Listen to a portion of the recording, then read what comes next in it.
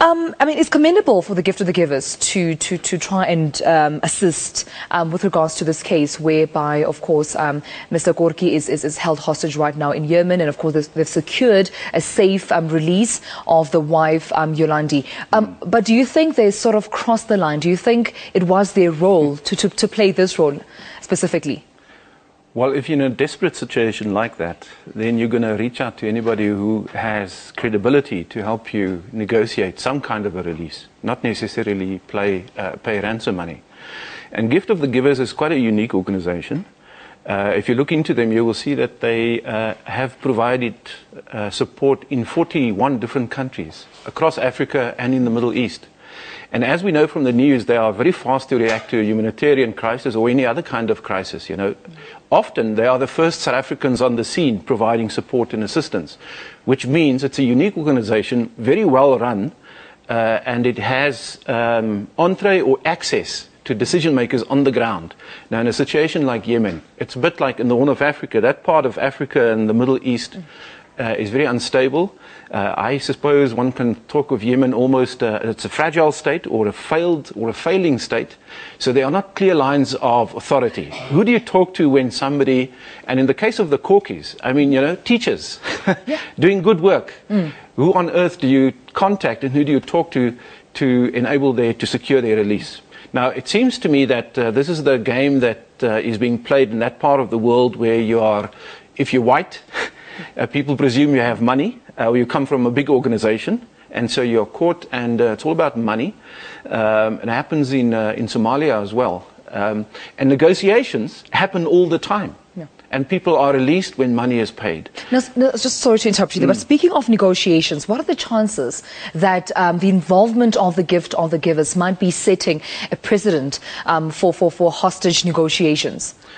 Well, there's, well, okay. I think the gift of the givers should do humanitarian assistance. It's what they are known for, and it's what they are good. And they, they gather South Africans around the cause, which they. Now, to cross the line into political negotiations, mm. is a, it's, they're on thin ice. Because people say, what if they are successful today? Uh, another team, another two teachers or humanitarian aid workers get caught, and then the whole process starts again. It can, it can sort of uh, a chain reaction. So there is a danger. But I think in this particular case, South Africans are not known for uh, parachuting in like the Americans or the, Amer or the Europeans do, uh, with lots of support and lots of backup. Uh, so it's, it's, South Africans go for genuine humanitarian reasons. And I think for this reason, and because Gift of the Givers has credibility, they engaged in a, in a process of negotiation with what appeared to be Al Qaeda in Yemen to secure the release. They were successful halfway through.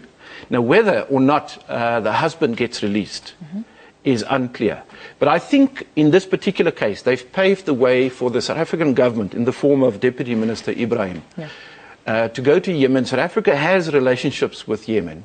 And so there is a good relationship that can be explored or exploited to secure the release of the outstanding hostage, which is uh, Mr. Korkie. And speaking of government, of course, they have mentioned that they will intervene, and they have intervened, of course, in the presence of the Deputy Minister of International Relations. Yeah. Um, but they did made, make it clear that they will not pay any ransom money. No, so what is the role of government then in this regard, the specific roles that we can expect from government moving forward? Yeah, because this might happen again. Yeah. Look, governments the world over say we don't negotiate with terrorists. Because if you break that rule, ostensibly, openly, then uh, terrorists or radicals will say, okay, this is good. We're going to take another couple hostage and ask Absolutely. for more money, and then the ball rolls. And how do you, it's, you know, yeah. how do you stop this? So I, I think Mr. Ebrahim's role in, he's probably there now as we speak uh, will be to talk to his counterparts in government, to the extent that there's a government in Yemen, mm. to see if there's not a political way out of this impasse. And so we are using our diplomatic skills and our standing in Africa as a democratic country mm-hmm. uh, to try and secure the release. I don't think that the South African government should ever pay ransom money uh, to, to hostage takers no. because it'll open the door for, uh, for an uncontrollable uh, escalation of the situation. But speaking yes. of ransom money, um, mm. it's been reported widely that, of course, we do know government will not be involved as far as ransom money is concerned, but the family has raised 90,000 US dollars thus far and is still appealing to the public um, mm. through an SMS line to contribute towards raising the money. Yeah. How wise is it, do you think, to involve uh, uh, people, to involve ordinary citizens, to involve perhaps even the world, to contribute towards ransom money in hope of freeing, of course, Pierre Korkie? Yeah, look, I must say to me, this is a, it's a tragic story. It touches the hearts of almost everybody, mm. and people will want, to, will want to contribute to this cause. But this is not going to secure the release of Mr. Korkie. They want 3 million. They'll negotiate. They'll probably go down to 1 million US dollars. That's 3 million rand. Mm. It's still too much. Yeah. And this is, this, it's an untenable situation. So the goodwill is there. People want to contribute to help the situation to be resolved. But this is not the game uh, really to be played. Uh, this is not an oil company, you know, on the, on the uh, Horn of Africa where the ship gets caught up and you can pay a couple of million to have the guys released, uh, the captain of the ship. People make movies about this. Yeah. We, can't, we can't do this. So although the intention is good, uh, that money should be saved, maybe for, uh, for another good cause. But in this case of Mr. Korkie, uh, uh, I would put my faith in Mr. Ebrahim, who knows the region quite well, mm-hmm. to make some kind of a political deal. Uh, and of course, Gift of the Givers, behind the scenes, working as a non governmental organization, might just be successful in getting the husband released because after blood, sweat, and tears, they got the woman released. I think her name is Yolande. Yes, it is. Yes, and she tells the story, and the gift of the givers tell the story of how difficult it yeah. was. 24 hours, day and night, getting. Mm-hmm. They at some point asked for 15,000 US dollars, mm. uh, and the guy said, no, we want her for free.